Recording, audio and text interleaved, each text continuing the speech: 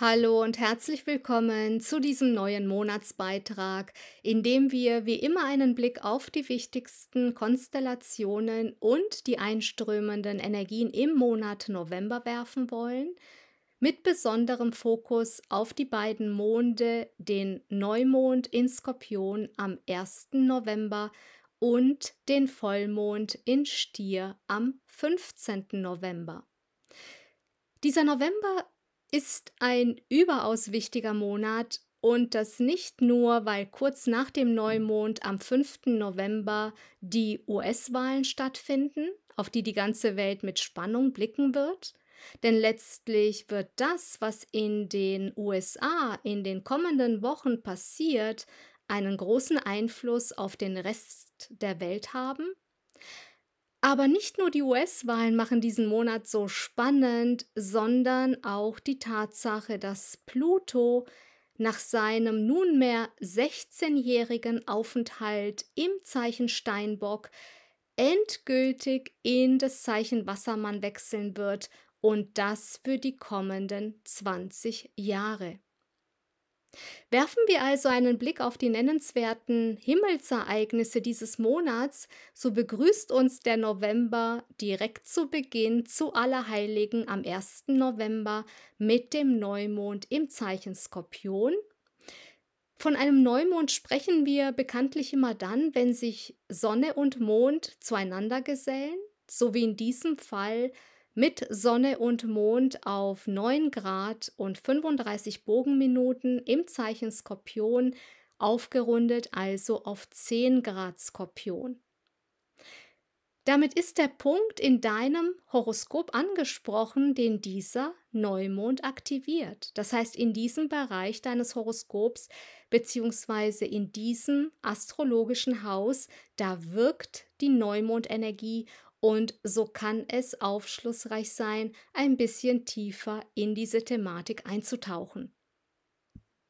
Was direkt auffällig wird, wenn wir auf die Neumond-Radix schauen, ist, dass zu diesem Neumond sehr viele Planeten in einem Wasserzeichen stehen Mond, Sonne, Merkur, Mars, Saturn und Neptun, allesamt in einem Wasserzeichen, deuten bereits ergänzend zum Neumond in Skorpion darauf hin, dass wir in diesen Tagen etwas dünnhäutiger, sensitiver, insgesamt emotionaler und vielleicht auch erschöpfter oder gereizter sein können als sonst. Da es ist eine Energie, da sind wir auch gerne für uns allein, da ziehen wir uns auch gerne mal in unsere eigenen vier Wände zurück. Der Skorpion selbst garantiert oftmals ein großes Gefühlskino, auch wenn er selbst nicht immer weiß, woher diese Gefühle kommen und warum er fühlt, was er fühlt. Pluto, der Zeichenherrscher des Skorpions, ist oder gilt als einer der geheimnisvollsten Planeten in unserem Sonnensystem und genau dieses Geheimnisvolle ist letztlich auch sein Markenzeichen, blieb Pluto doch bis ins Jahr 1930 den Fernrohren der Wissenschaft verborgen. Pluto-Transite bringen die einschneidendsten Persönlichkeitstransformationen und Lebensveränderungen mit sich und stellen alles in den Schatten, was wir bislang erfahren haben. Und das erreicht Pluto, indem er all die Schatten all die Ängste und Geheimnisse sichtbar macht, die in unserem menschlichen wie auch kollektiven Unterbewusstsein vor sich hinschwelen und vor denen wir bislang unsere Augen verschlossen haben. Was nichts anderes heißt, als dass Plutos tiefgründigem Blick nichts, aber auch rein gar nichts verborgen bleibt. Das heißt, in seiner Wirkung hält uns Pluto einen unerbittlichen Spiegel all unserer verdrängten Ängste und Probleme vor, die in der Tiefe unserer Seele noch unerlöst sind. Auch vermag er all unsere unterdrückten Wünsche und Sehnsüchte an die Oberfläche zu bringen und uns im Kontakt mit diesen Energien zu lebensverändernden Entscheidungen drängen. Gleich einem inneren Vulkanausbruch kann er all den unverarbeiteten Ballast in uns hochschleudern, all die tief in uns bereits als richtig erkannten Einsichten und uns zumeist durch Leidensdruck dazu zwingen, unseren eher trägen und bequemen Persönlichkeitsteil in Bewegung zu setzen. Und hierbei lässt Pluto in der Regel keinerlei Kompromisse und keine Halbwahrheiten zu, denn Pluto peinigt unser Ego, das immer wieder neue Ausreden findet, so lange, bis es sich endlich den höheren Erkenntnissen und Wahrheiten stellt. Und dieser Prozess ist umso unangenehmer, desto stärker wir uns selbst geißeln, wenn wir uns beispielsweise in einem ja, fühlbaren Gefängnis, in einem Ghetto von Konventionen, von Höflichkeitsformen, Selbstbetrug, auch einer gefühlten Dumpfheit, Leblosigkeit und auch Schönmalerei wiederfinden, dadurch nur noch mechanisch funktionieren und vor lauter Sicherheitsängsten das wahre Leben verpassen. Wenn wir uns nun in diesem Kontext die Neumondradix näher anschauen, können wir sehen, dass einer der markantesten Konstellationen zum Neumond die Opposition von Pluto in Steinbock zu Mars in Krebs ist. Mars war der Herrscher des Skorpions, bevor Pluto entdeckt wurde. Und so stehen sich mit Mars und Pluto hier zwei planetare Schwergewichte gegenüber, die wir im Sinne von Mars mit Passion, Mut, Pioniergeist, aber auch mit Konflikt, Aggression und Krieg verbinden.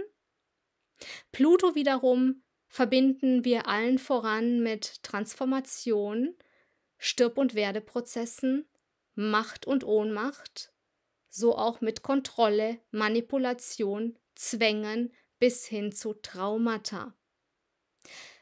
Die Tatsache, dass sich beide Mars in Krebs und Pluto in Steinbock in den kritischen Endgraden des jeweiligen Zeichens befinden, deutet darauf hin, dass wir uns in einem entscheidenden, kritischen Übergang befinden, wo wir analog zum Krebs spüren können, dass unsere alten Sicherheiten oder auch unsere herkömmlichen Vorstellungen, wie wir unser Leben leben wollen, in gewisser Weise vor einer Neubetrachtung und Neubewertung stehen.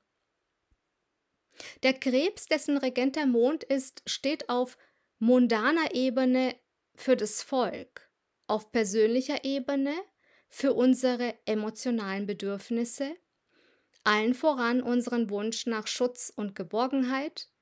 Da geht es um unsere emotionale Sicherheit, unser Zuhause, unseren Wunsch, ein sicheres Dach über dem Kopf zu haben.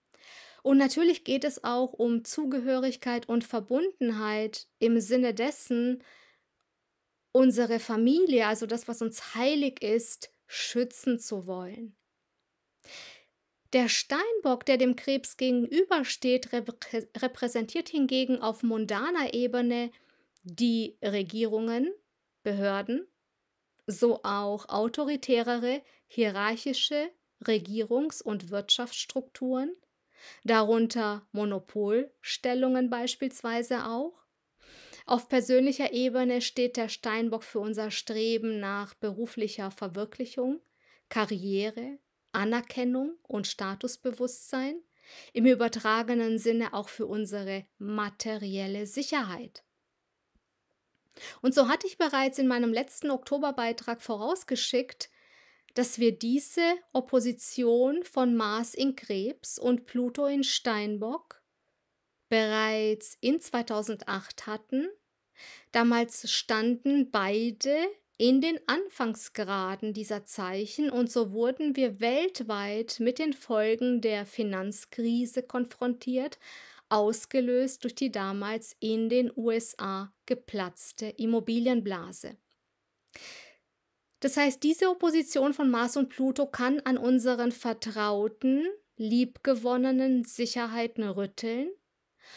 Und da wir jedem Tierkreiszeichen sowohl lichthafte als auch schattenhafte Seiten zuordnen, so ist er der Skorpion, in dessen Zeichen der Neumond fällt, der uns einerseits mit Macht und Wohlstand segnen kann, der uns andererseits aber auch unsere Ohnmacht und unsere Verbindlichkeiten, unsere Schulden bewusst machen kann.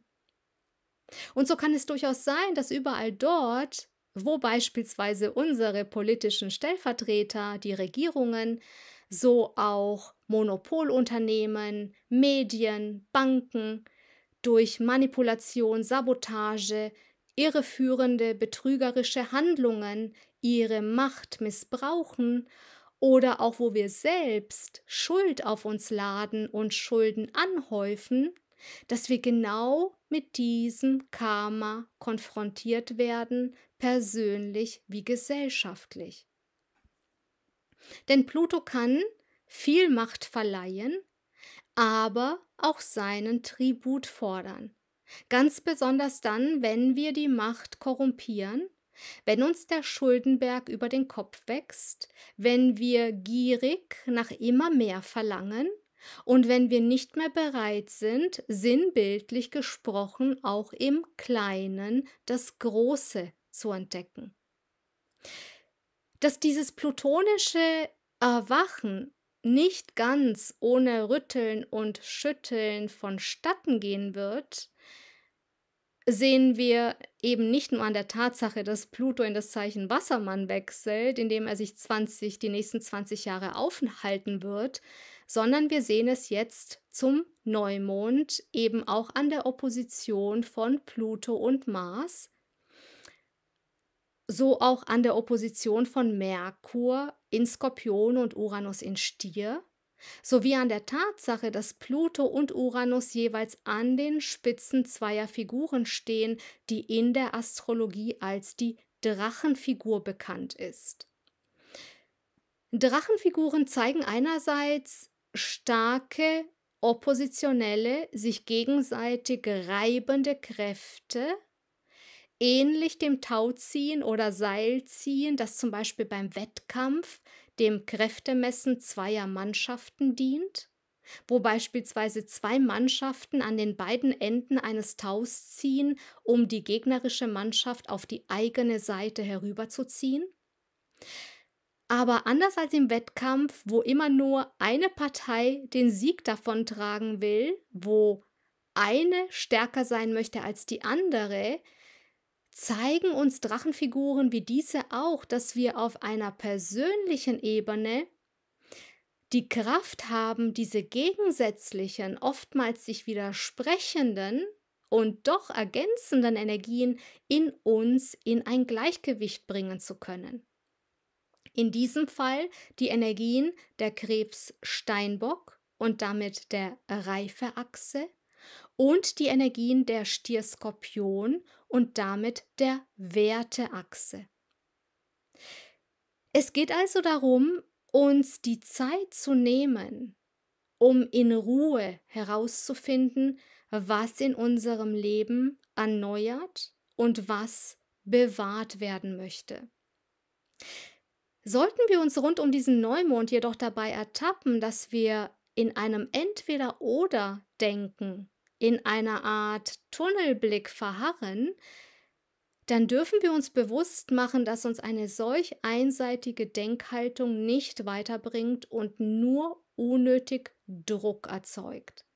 Mit Merkur in Skorpion in Opposition zu Uranus und im Trigon zu Neptun und Mars dürfen wir uns für verschiedene Lösungsansätze öffnen, indem wir beispielsweise in sowohl als auch Kategorien denken? Wo immer wir also aktuell eine Überforderung, eine Ohnmacht spüren, vielleicht auch einen Widerstand, einen Stillstand oder eine Unentschlossenheit und Angst vor Veränderung haben, dort dürfen wir uns in Geduld üben und darauf vertrauen, dass Lösungen unterwegs sind. Denn Mars wird aufgrund seiner Rückläufigkeit die Opposition zu Pluto, die Rückläufigkeit beginnt erst im Dezember, aber Mars wird aufgrund seiner Rückläufigkeit die Opposition zu Pluto noch zwei weitere Male wiederholen. Einmal Anfang Januar, wenn Mars in den Anfangsgraden des Löwen und Pluto in den Anfangsgraden des Wassermanns steht.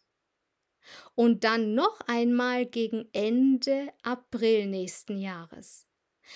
Und damit möchte ich sagen, dass hier mit dieser Opposition von Mars und Pluto, die wir dreimal erleben werden, jetzt im November, Anfang Januar und im April, dass hier Energien am Werk sind, die uns ins kommende Jahr begleiten werden.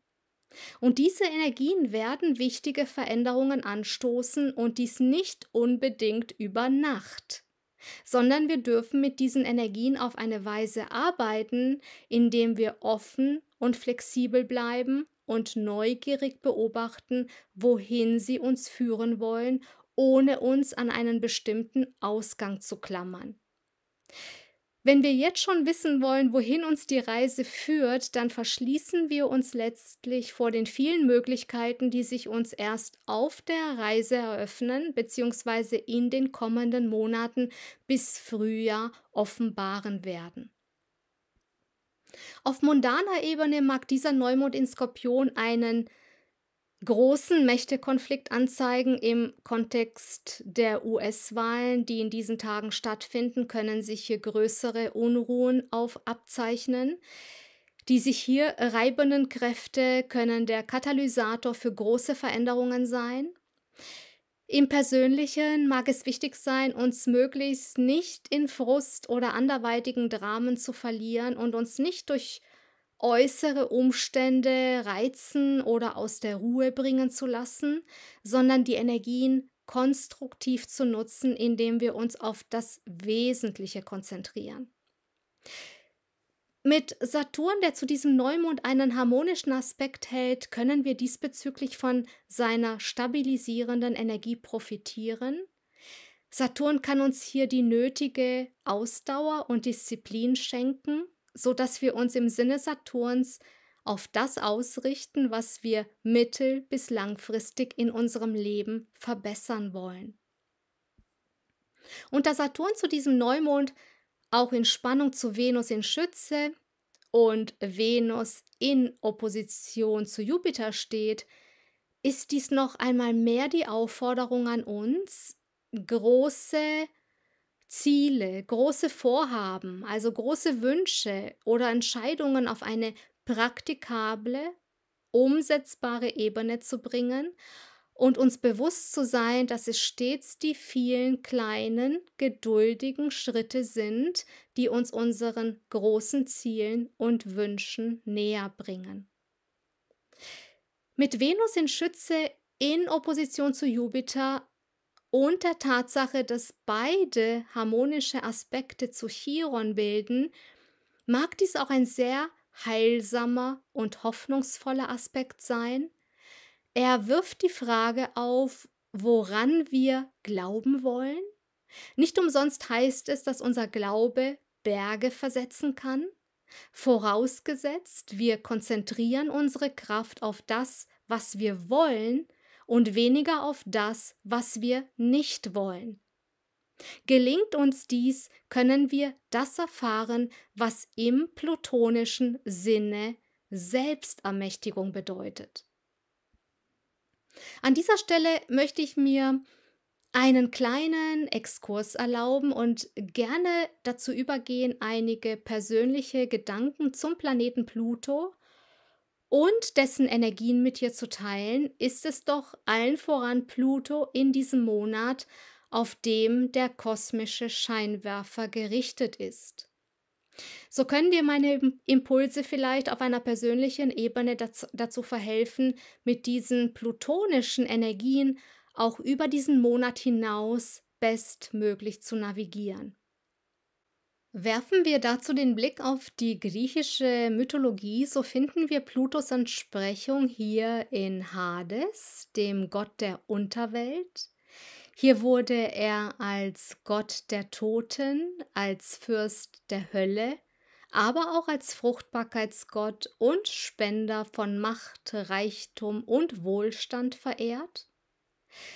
Schauen wir ergänzend dazu auch auf manche indigenen Kulturen, beispielsweise die indigenen Kulturen Nordamerikas, darunter die der Hopi-Indianer. So finden wir Plutos Entsprechung hier in der Spinnenmutter, Spider Mother, ist es schließlich die Gattung der Spinne, zu der auch der Skorpion zählt. Für die Hopi-Indianer ist die Spinnenmutter die Weberin, die den Lebensfaden spinnt. Ihren Legenden zufolge ist sie die uralte Weise, deren Kraft jenseits aller Vorstellungen liegt. In den alten Mythen heißt es, dass sie jeden Tag das Universum neu webt und es nachts wieder zerstört, um es tags darauf von neuem zu weben. Sie ist es, die die Fäden in der Hand hält und damit die Macht hat, Leben zu geben und zu nehmen. Interessant ist, dass wir Menschen bis heute nicht genau wissen, warum wir oder viele von uns sich so derart vor Spinnen fürchten. Und laut dem Arachnologen Christian Kopf können wir dahingehend auch nur Vermutungen anstellen, eine davon ist, dass die Spinne in unserer Kultur mit dem Bösen assoziiert wird, mit dem Teufel, mit den dunklen Mächten, mit Gift und dem Tod.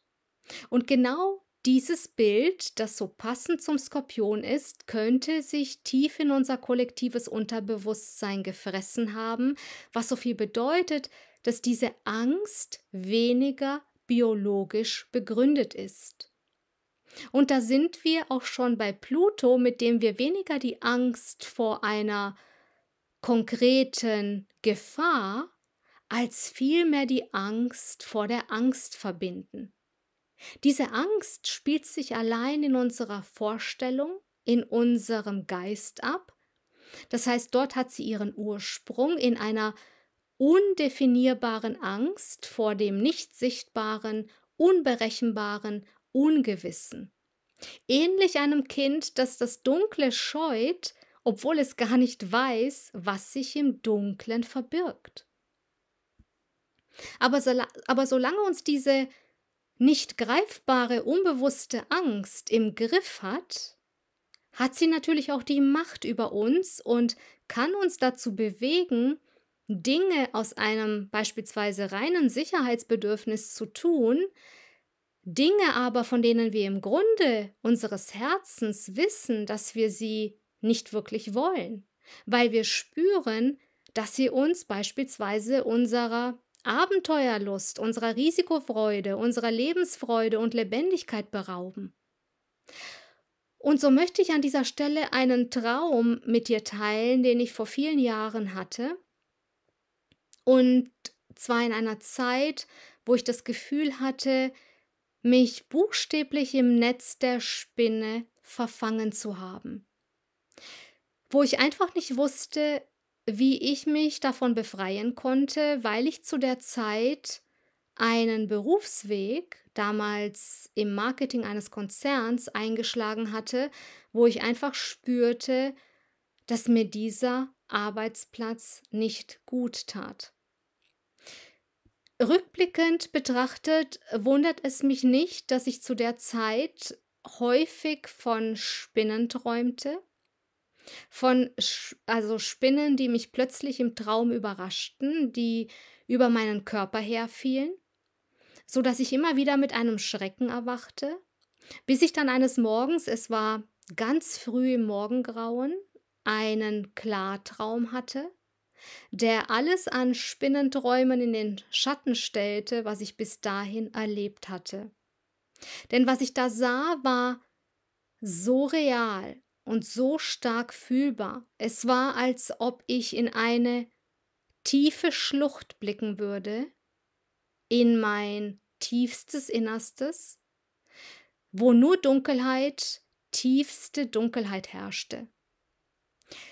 Und als ich allmählich anfing oder beziehungsweise als mein inneres Auge allmählich anfing, sich an diese Dunkelheit zu gewöhnen, kam mir wie aus dem Nichts, aus dieser tiefen dunklen Schlucht plötzlich eine Spinnenfrau entgegen.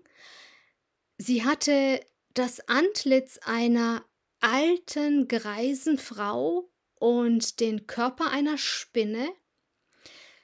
Und als ich sie sah, schoss im Bruchteil einer Sekunde eine Riesenangst in mir hoch, mein Herz raste wie verrückt und ich hatte das Gefühl, dass mir vor lauter Angst der Atem stockte. Gleichzeitig wusste ich, dass ich in diesem Moment keine andere Wahl hatte, als mich in diese Dunkelheit, in das Netz dieser Spinne fallen zu lassen. Und als ich das tat, was dann geschah, war reinste Magie, ein absolutes Wunder. Denn diese anfangs noch tief empfundene Angst, es war fast eine Todesangst und Starre, verwandelte sich im Nu in eine unbeschreiblich schöne, grenzenlose Lebensfreude. Es war, als hätte diese Lebensfreude, diese ja fast schon ekstatische Energie jede Zelle meines Körpers erreicht und meinen Körper buchstäblich zum Beben gebracht. In dem Moment war ich so vollkommen frei von Angst und ich badete einfach nur in dieser sinnlichen Freude. Erstaunlicherweise hatte ich nach diesem Klartraum keine Angst mehr vor Spinnen. Ich träumte ab da auch nicht mehr von Spinnen. Mit der Folge, dass ich auch in meinem Leben den Mut fand, eine neue Entscheidung zu treffen, die mich beruflich auf jenen Weg brachte, den ich heute gehe und wo ich auch heute überaus dankbar bin, mit meiner astrologischen und schamanischen Arbeit Menschen zu erreichen, die so wie ich damals ihrem Leben ebenfalls eine neue, sinnstiftende Richtung geben wollen. Und so erinnert uns der Skorpion in Form der Spinnenfrau, in Form der Spinnenmutter daran, dass auch wir unsere Träume spinnen und realisieren können. Den Hopi-Indianern zufolge offenbart die Spinne ihr Wissen, während wir träumen.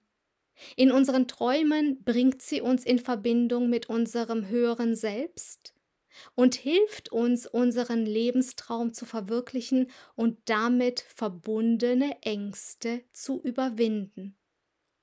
Und so kommt es nicht von ungefähr, dass wir der Spinne zu Ehren die Traumfänger entwickelt haben, die an ein Spinnennetz erinnern, damit wir die Weisheit unserer Träume, die uns die Spinne schickt, einfangen können. Die indigenen Völker sind davon überzeugt, dass wir durch einen unsichtbaren energetischen Faden aus unserem Nabel immer noch mit dieser alten, ursprünglichen Spinnengöttin verbunden sind und ich habe selbst die Erfahrung gemacht und bin von deren Wahrheit absolut überzeugt. Ich habe diesen Traum mit dir geteilt, weil er mir einst sehr viel Kraft geschenkt hat und weil ich überzeugt davon bin, dass es genau diese Energie ist, die wir benötigen, um persönliche, aber auch kollektive Ängste und Traumata zu überwinden. Wir dürfen uns ins Ungewisse, ins Netz der Spinne fallen lassen und darauf vertrauen, dass es uns auffangen wird. Gelingt uns dies, werden wir persönlich wie kollektiv das scheinbar noch jetzt oder jetzt noch Unmögliche eines schönen Tages möglich machen.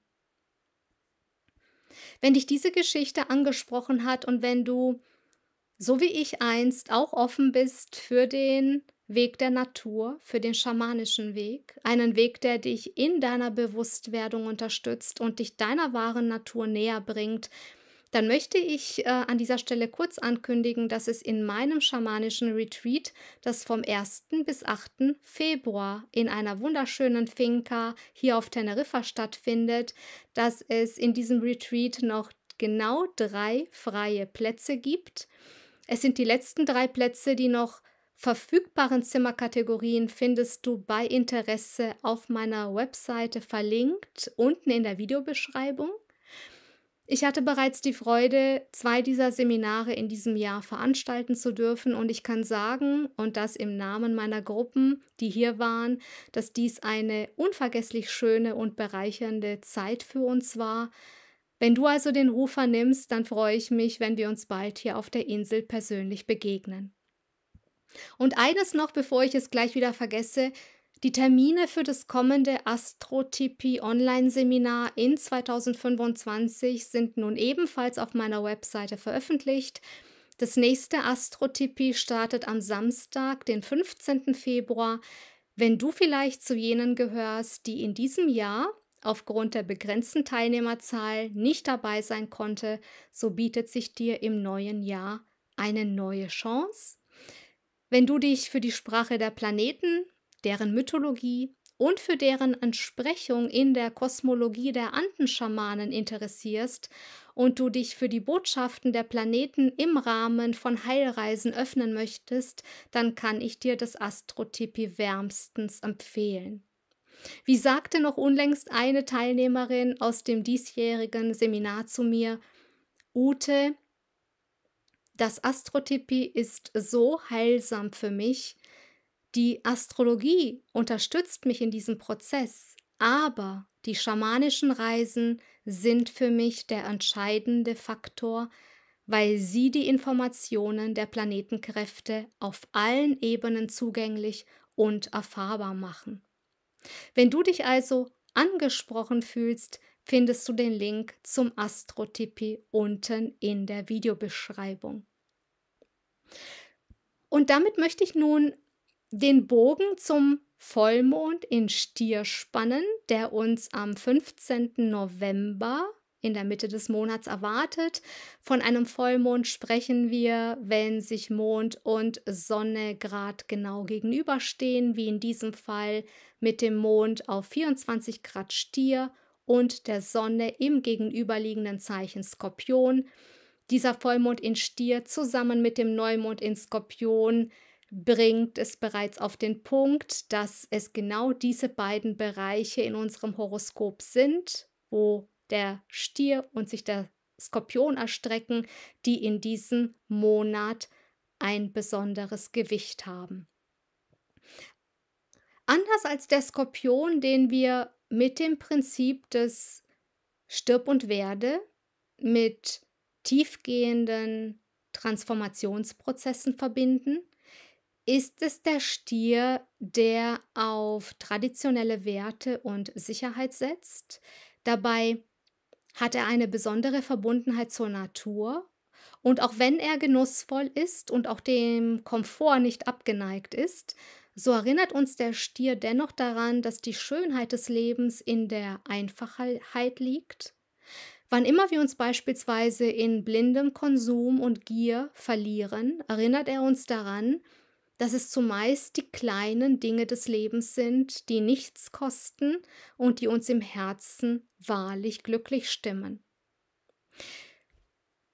Anders als zum Neumond in Skorpion, wo das Element Wasser und damit das nicht greifbare und vielleicht auch unentschlossene stärker betont ist, zeigt uns der Blick auf die Vollmondradix, dass dieser Vollmond in Stier eine stärkere Durchschlagskraft hat, dass sich mehr Planeten in Erd- und Feuerzeichen befinden Zudem kann er uns aufgrund seiner Konjunktion mit Uranus ein überraschendes Element bescheren, etwas, was wir so noch nicht kommen sehen.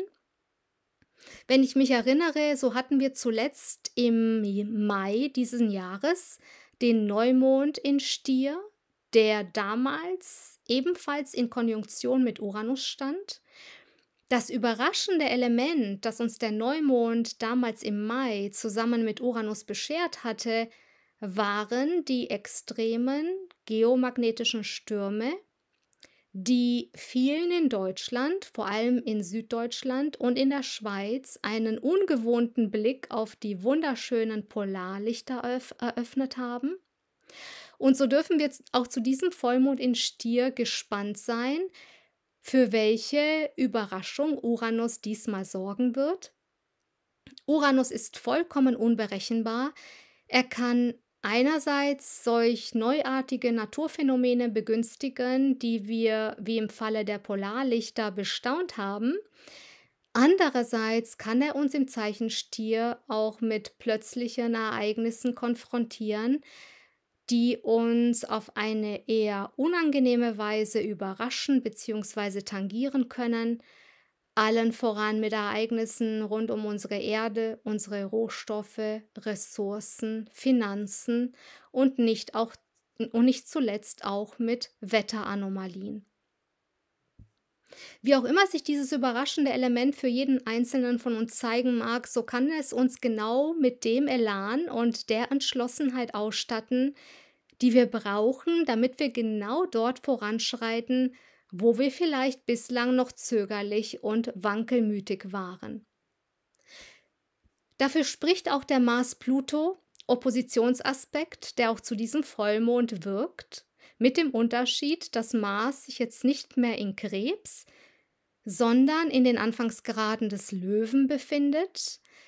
Mars im Feuerzeichen Löwe hat einen viel stärkeren Selbstausdruck, ein sehr viel stärkeres Selbstvertrauen und ist sehr viel leidenschaftlicher als vergleichsweise ein Mars in Krebs und dadurch auch risikofreudiger. Diese Energie kann uns beflügeln, sie kann uns dem näher bringen, was uns wahrlich Freude bereitet. Auch Saturn, der an diesem Vollmondtag endlich wieder direktläufig wird, mag ein gutes Zeichen dafür sein, dass er uns in den kommenden Monaten neue Optionen eröffnen kann. Da können wir uns insgesamt, wenn es um unsere praktischen Vorhaben, zum Beispiel unsere beruflichen Ambitionen geht, da können wir unter einem können wir uns unter einem direktläufigen Saturn weniger limitiert fühlen. Da kann sich auch unser Einsatz bezahlt machen. Auch Venus in Steinbock, die die Regentin dieses Vollmondes ist, zeigt mittels ihrer Spannung zur Mondknoten bzw. zur Schicksalsachse, dass wir, wenn wir weise und bedacht handeln, die Früchte unserer Arbeit ernten können und etwas Wichtiges zum Abschluss bringen können. In puncto Beziehungen mag der Quincunx-Aspekt, den Venus zu Mars in Löwe hält, ihre Durchsetzungskraft zwar etwas schwächen, umso mehr ist dies die Aufforderung an uns, konkret anzusprechen, was wir uns in unseren Beziehungen wünschen, anstatt vorauszusetzen, dass andere unsere Gedanken lesen können. Mit Merkur in Schütze, in Opposition zu Jupiter in Zwillinge, die sich den astrologischen Würden nach beide im sogenannten Exil befinden, können wir uns schnell in Annahmen und Erwartungen verlieren, die für uns und unsere Beziehungen nicht förderlich sind. Auch Mars in Löwe zusammen mit Merkur in Spannung zu Saturn kann uns in gewisser Weise an fixen Vorstellungen anhaften lassen, wo es uns schwerfallen mag, uns für die Sichtweise anderer zu öffnen Andererseits, wenn ich auf Merkur und Jupiter und deren harmonische Aspekte zu Chiron schaue, dann kann uns dies durchaus auch sensitiver und empfänglicher für die Wahrheit machen. Eine gewisse Flexibilität brauchen wir in diesem Monat auch, wenn wir über den Vollmond hinausschauen, und zwar auf Merkur, der ab 26. November zunächst stationär und dann seine Rückläufigkeit beginnt. Und zwar wird Merkur bis 15. Dezember rückläufig sein. Zusammen mit der Tatsache, dass er in Schütze in Jupiters Zeichen rückläufig wird und Jupiter in Merkurs Zeichen den Zwillingen ebenso rückläufig ist, mag sich in diesem Monat bis in den Dezember hinein so anfühlen, als wäre Merkurs Rückläufigkeit diesmal sehr viel stärker spürbar. Also Vorsicht, wenn es um Kommunikation, Verträge, Verkehr und Reisen geht. Lieber die Dinge hier doppelt prüfen, nochmal genauer schauen, welche Worte wir formulieren, Verträge checken, ja, oder wenn wir Buchungen vornehmen.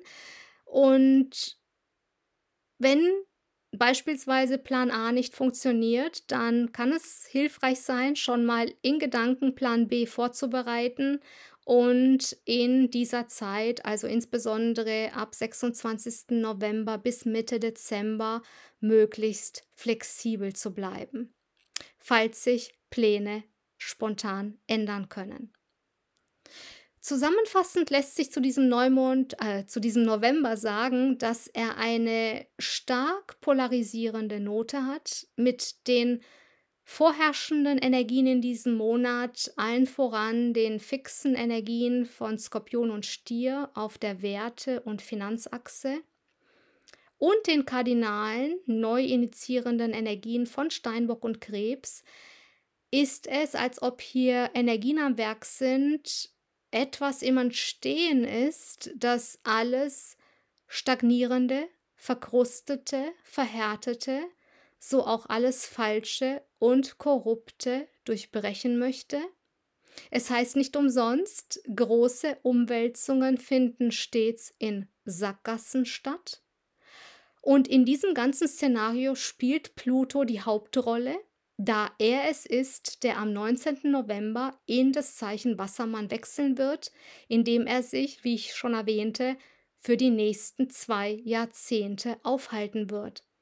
Das bedeutet nichts anderes, als dass Pluto die vielgepriesene Zeitenwende einleiten wird. Dieser Zwergplanet, der am weitesten von unserer Sonne entfernt ist, gehört neben Neptun und Uranus zu den sogenannten Langsamläufern.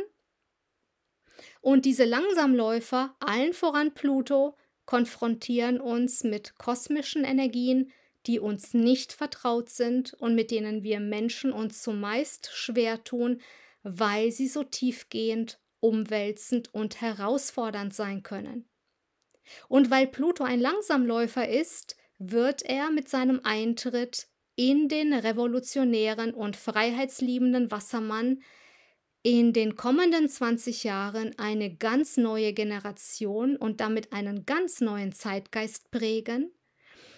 Die nächsten zwei Jahre, 2025 und 2026, in denen sich Pluto noch in den Anfangsgraden des rebellischen Wassermanns aufhalten wird, markieren dahingehend eine wichtige Übergangsphase. Mit dem Wassermann verbinden wir neben humanistischen Idealen auch bahnbrechende, innovative technologische Errungenschaften. Und so wird uns Pluto in Wassermann in das digitale Zeitalter führen, wo er die Grenzen unserer menschlichen Möglichkeiten durch den Einsatz technologischer Ansätze erweitern wird. Im Zuge dessen wird er uns mit den lichthaften, aber auch mit den schattenhaften Seiten dieser Entwicklungen konfrontieren. Und mehr dazu erfährst du bei Interesse in meinem Sonderbeitrag Pluto in Wassermann, eine neue Ära kollektiver Evolution. Den Beitrag findest du unten in der Videobeschreibung verlinkt. Um nun die Mondenergien dieses Monats auf dein persönliches Horoskop zu übertragen, so schau einfach mal, ob du Planeten und oder andere wichtige astrologische Punkte in den fixen Zeichen stehen hast. Zu den fixen Zeichen zählen Stier, Skorpion, Löwe und Wassermann. Dabei aktiviert der Neumond in Skorpion am 1. November besonders den Bereich von etwa 6 bis 13 Grad der fixen Zeichen. Schauen wir auf den Vollmond in Stier am 15. November, so aktiviert dieser den Bereich von etwa 21 bis 28 Grad der fixen Zeichen. Wenn du in diesen Zeichen und den genannten Graden Planeten und oder andere wichtige astrologische Punkte stehen hast, dann arbeiten die Energien dieser Monde auf einer ganz persönlichen Ebene mit dir. Für dich wird es wichtig sein, überall dort, wo du dich im Sinne des Skorpions mit einer Überforderung, Ohnmacht oder auch mit Stillstand konfrontiert siehst, dich im Sinne des Stiers gut zu erden und die Schönheit in den kleinen Dingen zu finden, gut auf dich zu sorgen, in die Natur zu gehen, schöner Musik zu lauschen, ein Essen mit Freunden oder eine wohltuende Massage zu genießen, weil das vermag deine Batterien wieder aufzuladen, so dass du den Herausforderungen des Alltags gelassener begegnen kannst. Ja, und solltest du heute zum ersten Mal dabei sein und dein Horoskop noch nicht vorliegen haben, dann findest du auf meiner Webseite ute-wotsch.de direkt auf der Startseite ein einführendes kostenfreies Lernvideo. In diesem Video erfährst du, wie du dir dein Horoskop erstellen kannst, wie du es lesen kannst, also wie dein Horoskop aufgebaut ist, welche Bedeutung die zwölf astrologischen Häuser haben und wie du die Inhalte aus meinen Beiträgen auf dein Horoskop übertragen kannst. Ja, und falls du alleine nicht so gut zurechtkommen solltest, findest du auf meiner Webseite natürlich auch weiterführende Infos zu meinem Beratungsangebot, zu den Horoskopanalysen, meinen Programmen wie dem Berufungs- und dem Beziehungsprogramm, so auch zu meinem Retreat auf Teneriffa im Februar und dem Astrotypie Online-Kurs, der ebenfalls im Februar startet. Und damit komme ich auch schon zum Schluss dieses Beitrags. Wie immer sage ich herzlichen Dank für dein Interesse, für deine Aufmerksamkeit und Wertschätzung. Und ich freue mich, wenn du auch beim nächsten Mal wieder dabei bist im Rahmen dieses Podcasts und sage auf bald mit einem ganz herzlichen Gruß an dich.